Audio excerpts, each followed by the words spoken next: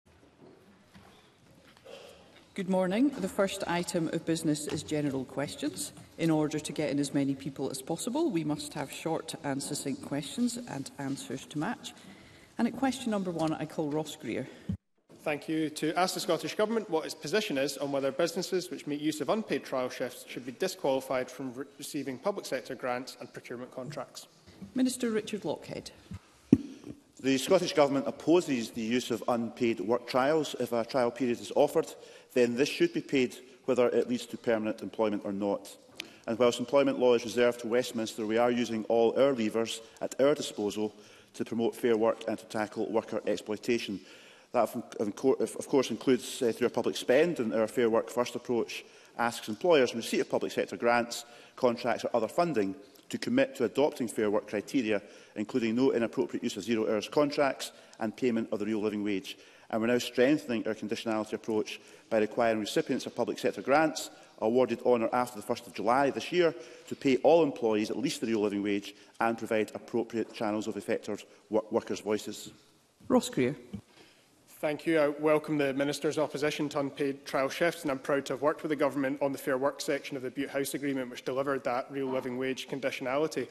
Employment law may be reserved to Westminster for now, and our options here are limited, but the living wage conditionality for grants and contracts demonstrates that we can go a bit further.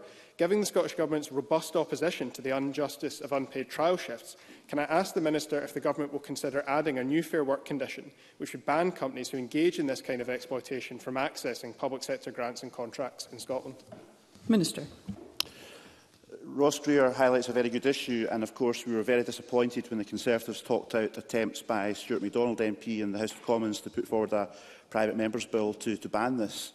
However, in Scotland we are determined to go as far as we can within our current powers to tackle the most significant issues in the labour market and drive fair work practices using the powers we do have, as set out indeed in the Butte House Agreement, which Ross Greer referred to earlier. So can I just say to him, we will continue to examine how we can strengthen our approach to conditionality and I will certainly ask my officials to consider the issues that he has raised today in Parliament, including highlighting our opposition to unpaid trial shifts as an example of good practice in any future update of our Fair Work First guidance. Ivan McKee. Uh, payment of the real living wage is a key tool to tackle poverty, and I'm glad to recognise Highlands and Islands Enterprise as the first of our agencies to make all grant awards contingent on payment of the real living wage. And the fact also, of course, that this is a requirement uh, for all businesses locating in Scotland's green ports. Can I ask when this requirement will be rolled out to our other agencies as called for in our national strategy for economic transformation? Minister. Well, I thank Ivan McKee for raising the importance of the real living wage to tackle poverty in Scotland and low pay. And of course, 91% of Scots are now paid the real living wage, which is the highest rate across the whole of the UK. We are working alongside our enterprise and skills agencies to develop our stronger approach to conditionality. And from the 1st of July, as with Scottish Government, public sector grants issued by the enterprise and skills agencies will require payment of at least the real living wage and provision, as I said before, of appropriate channels for effective workers' voices. And I do join him in congratulating HIE for being ahead of the game and proactive on this issue. Katie Clark. The Fair Work First guidance does not make trade union recognition a requirement for bidders, instead permitting alternative arrangements. It also stipulates that there should be no inappropriate use of zero-hours contracts rather than ruling them out completely. Will the Scottish Government commit to addressing these discrepancies? Minister. Uh, can I assure the member that we are committed to addressing these discrepancies by arguing for more powers for the Scottish Parliament over employment law in Scotland? Uh, and that's the best way to strengthen the, the guidance and the law in this country because we don't have the powers to go much further than what we've outlined in our current guidance where we have to show proportionality in terms of our regulations. But I think we have gone very far in Scotland and over £4 billion of public sector investment since 2019 has been subject to Fair Work First criteria, making a real difference to tens of thousands of workers across this country. Question number two, Richard Leonard. Uh, thank you, Presiding Officer. To ask the Scottish Government what additional fiscal measures it will put in place to reduce inequality in Scotland. Cabinet Secretary Shirley Ann Somerville. Tackling poverty and protecting people from harm is one of the three critical and interdependent missions for the Scottish Government, and it is only with the full fiscal powers of a normal, independent nation that ministers can use all the levers other governments have to tackle inequalities. However, our income tax policy decisions for 23-24 are estimated to add £519 million to the budget, ensuring we are making the best use of our limited tax powers. We have allocated almost £3 billion this year to support policies which tackle poverty and protect people as far as possible during the ongoing cost of living crisis. Richard Leonard. Uh, can I thank the Cabinet Secretary for that response? On the morning he was elected leader of the SNP, under a headline, I'll hammer the rich, the First Minister declared himself to be a socialist. So can the Cabinet Secretary tell us whether the newfound socialism of the new First Minister will extend to a proposal for a wealth tax being brought to Parliament before the end of the year? Yes or no? Cabinet Secretary. Well, with the greatest respect, presiding officer, this is more complex than a yes or no answer. So let me give a principled, principled position of the government. We have always prioritised the fair and progressive approach to income tax policy. As I said in my original answer, that's been demonstrated by the decisions taken um, in the last budget. That builds on the progressivity that we have within the powers that we have. The recent work for the Institute of Fiscal Studies, for example, has shown that that progressive um, attitude that we have has seen more support being able to deliver to less well-off households. Now, of course, we will give consideration. The First Minister has made very clear he'll give consideration uh, to further measures that we can introduce. Um, and I look forward uh, to the constructive uh, discussions that we can have uh, with Scottish Labour on this, not just at the Anti-Poverty Summit, but as we move forward with our deliberations on taxation policies ahead of the next budget. Question number three, Karen Adam. Thank you, Presiding Officer. To ask the Scottish Government what action it has taken in addition to its public consultation to engage with the fishing industry and the coastal communities that could be affected by highly protected marine areas. Cabinet Secretary Mary McCallum. Um, Presiding officer, it's always been our intention to develop these ambitious proposals hand in hand with those impacted by them. The member asks about action uh, aside from the consultation. Well, prior to the consultation, we met, we met with over 20 stakeholder groups representing a wide range of marine industries and users. These meetings included fisheries organisations such as the Scottish Fishermen's Federation and the Scottish Creole Fishermen's Association, aquaculture groups such as Salmon Scotland, environmental NGOs such as Environment Link, community representatives such as Coastal Communities Network and COSLA. Uh, feedback from these meetings directly fed into our consultation. Uh, since then, we ran 10 online information sessions from February to April to help anyone wishing to uh, provide a response to the consultation. And we also provided additional targeted events with regional fishing industry groups such as the Western Isles Fishermen's Association and the North East Whitefish Forum. And I will meet with coastal and island MSPs next week. Karen Adam. I thank the Minister for her comprehensive answer. In recent weeks, I've spoken to a number of fishers across my constituency who have expressed their concerns around highly protected marine areas and I welcome the First Minister's commitment last week not to impose on any community a policy that it is vehemently opposed to. Will the Cabinet Secretary reassure, will the Minister sorry, reassure the fishers I spoke to and make the same commitment? Cabinet Secretary. Um, I am happy to uh, reiterate the First Minister's commitment, Presiding Officer. I, I firmly believe that you don't impose policies on communities. You work hand in hand with them to make them work. Um, I want our island and coastal communities to help shape the creation of these areas, which is why we chose to consult so fully and so early in the process. So, as I've committed to from the very beginning, uh, site selection will be a participatory process with meaningful community engagement at every stage. Yeah, yeah. Jamie Halker-Johnston. The fishing industry and the communities built around it have been crystal clear in their opposition to this government's HPMA proposals. We stand squarely behind them. But their concerns have been cast aside by this government time and time again. Can I ask the Cabinet Secretary if the dismissal of these concerns are based on any sort of economic impact assessment the government has undertaken, or is this policy simply blind to the damage it could do to our rural economy? Cabinet Secretary. Um, Presiding officer, it's, it's astonishing that I can read out the level of consultation that has been undertaken so far and point to a fulsome consultation yeah. right at the beginning of the process yeah. and yet still be accused yeah, of uh, what the member was narrating there. The truth of the matter is that mm. despite progress in improving the state of our marine environment, Evidence tells us that we need to do more. The Scottish Marine Assessment of 2020 showed that a number of marine species were in decline, and the most recent UK marine assessment showed that across the UK, good environmental status was not being achieved. But as I have said right from the beginning of this process, we recognise the strength of feeling on this, and we are committed to working hand in hand with communities to make this policy work right around the country. Beatrice Wishart. Thank you, Presiding Officer. Does the Scottish Government recognise that lack of de detail for communities up and down Scotland's coastline, whose livelihoods depend on the sea, has caused distress and concern? And when will the Cabinet Secretary visit Shetland to meet with the fishing and aquaculture sectors? Cabinet Secretary.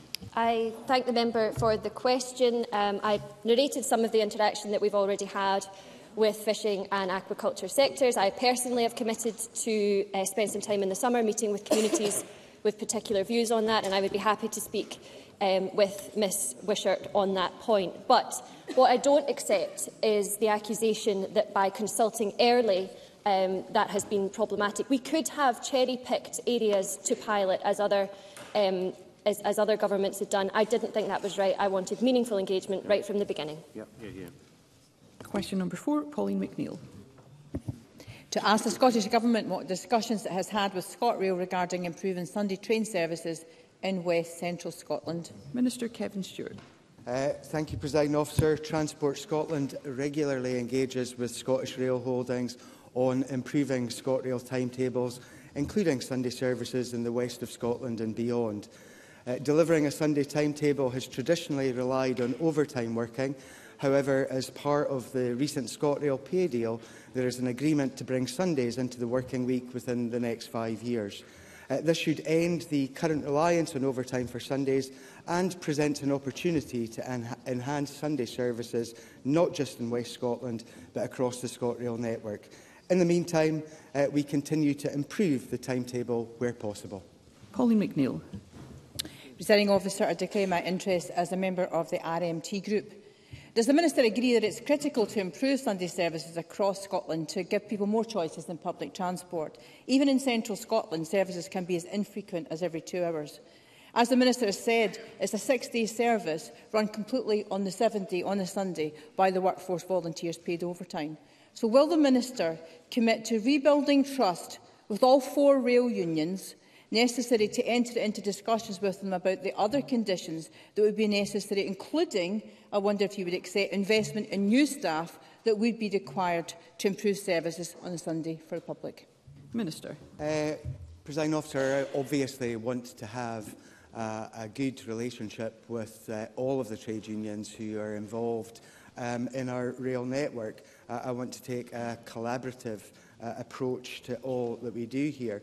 Um, and I think that we have already seen that change, uh, as I outlined in my initial answer. Um, ScotRail at the moment operates uh, around about half the number of services on a Sunday uh, that it does on a weekday. Uh, Glasgow in the west of Scotland is at the moment comparatively well served uh, with all suburban and urban routes running a minimum of one train per hour. Um, this is, however, a reduction uh, from the two trains an hour that works uh, in most services during the week. Uh, we will move forward in this, and I can assure uh, Ms McNeill and the Chamber uh, that I will do everything possible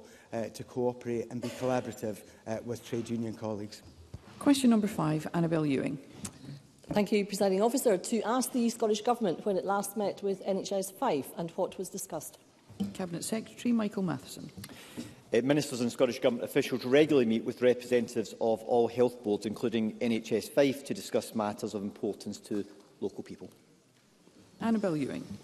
I thank the Cabinet Secretary for his answer and welcome him to his new uh, post. Presiding officer, I have raised consistently the issue of a new medical centre for Loch Gelly.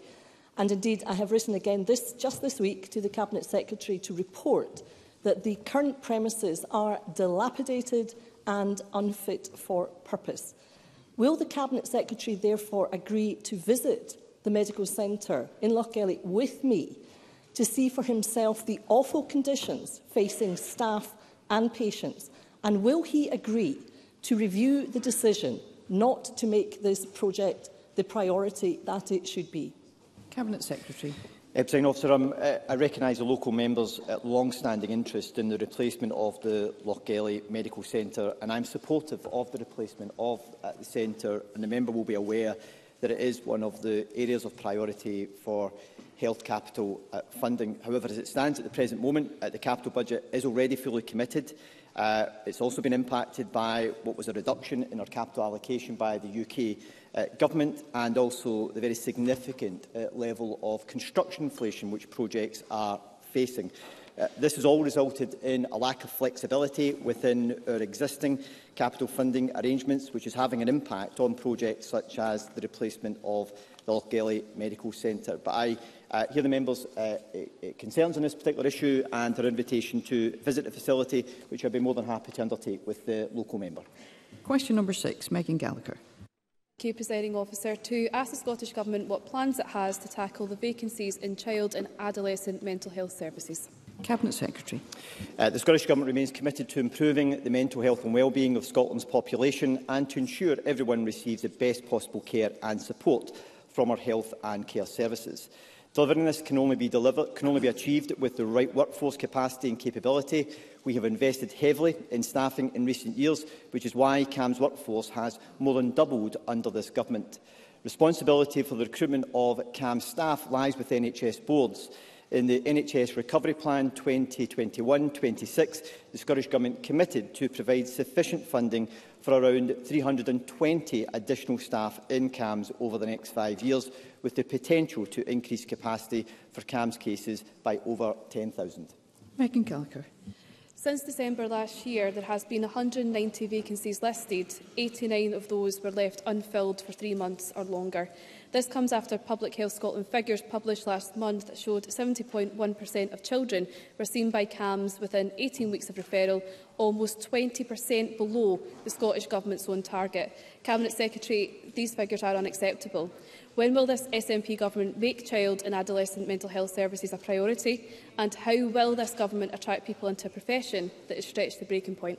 Cabinet Secretary. Well, uh, I'm saying, Officer, I recognise the concerns which the member is uh, raising, and I can assure the member that child mental health services are a priority.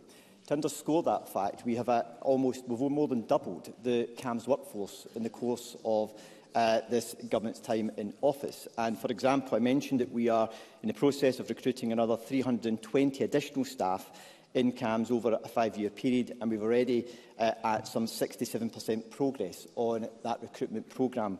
We want to continue to see that uh, uh, workforce increase, which is why we're putting in the additional investment. And the member will also be aware that we're actually now seeing more people through the CAMS network than we have ever done before. What we want to do is to make sure that children get the right services in their local communities in the way that best meet their mental health needs, and that's why we're continuing to make investment in CAMS services. Question number seven, Paul Sweeney. Thank you, Presiding Officer. To ask the Scottish Government what the average waiting time is for neurology patients who are seeking an appointment with a physiotherapist. Minister Jenny Minto. Thank you, Presiding Officer. Information on physiotherapy waits for people with neurology conditions is not held centrally by the Scottish Government. However, the member may be interested in some of the work we're taking forward to support those with neurology conditions. In 2019, we published a Neurological Care and Support National frame Framework for Action, which aims to ensure everyone with a neurological condition can access the care and support they need. The aims include improving the provision of coordinated health and social care, developing sustainable workforce models and ensuring high standards of person-centred care. Since October 2020, we have also invested £2.1 million with NHS boards and partner organisations to fund innovative projects to achieve better outcomes for people living with neurological conditions. Paul Sweeney. The Minister will be aware that this week is MS Awareness Week and I commend the work of the MS Specialist Physio Service based at the Queen Elizabeth University Hospital which works hard to support neurology patients across NHS Greater Glasgow and Clyde. However, research by the MS Society has found that there is extreme pressure on physiotherapy services in Glasgow with patients waiting an average of 17 weeks for an appointment and 107 of 931 full-time equivalent physio posts lying vacant. So will the Minister please set out today how she plans to fill those vacancies and cut that backlog of physiotherapy appointments for neurology patients so they can access this vital support? Minister. For his question and also acknowledging the importance of this week being MS Awareness Week with their hashtag MS Makes Me. Um, we want everyone waiting for physiotherapy, including those with a neurological condition, to be seen as soon as possible. And NHS boards are working extremely hard during challenging times to support this. The most recent statistics show the number of patients seen in the quarter to December 2022 was at the highest level since March 2020 and last year saw over 1.2 million outpatients, an increase of 8% since 2021. So this is demonstrating progress that we are making.